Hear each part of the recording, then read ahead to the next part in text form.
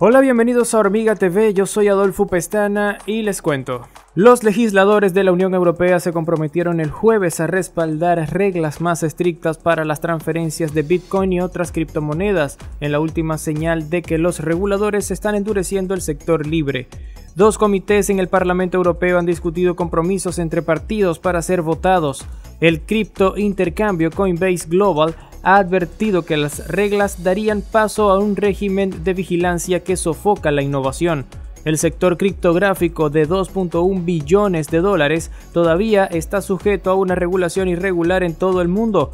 Las preocupaciones de que Bitcoin y sus pares puedan alterar la estabilidad financiera y ser utilizados para el crimen han acelerado el trabajo de los formuladores de políticas para controlar el sector.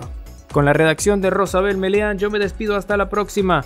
Tú, mientras tanto, ve abajo, comenta, dale me gusta, suscríbete y activa las notificaciones para que disfrutes de mucho más contenido acá en Hormiga TV.